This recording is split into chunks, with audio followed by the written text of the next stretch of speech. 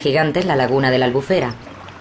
El vídeo coincide con la reciente noticia sobre el alto nivel de toxicidad de sus aguas y de cómo ha disminuido alarmantemente el número de ejemplares de anguila en la zona. La espectacularidad de las imágenes hacen dudar de la veracidad de las mismas.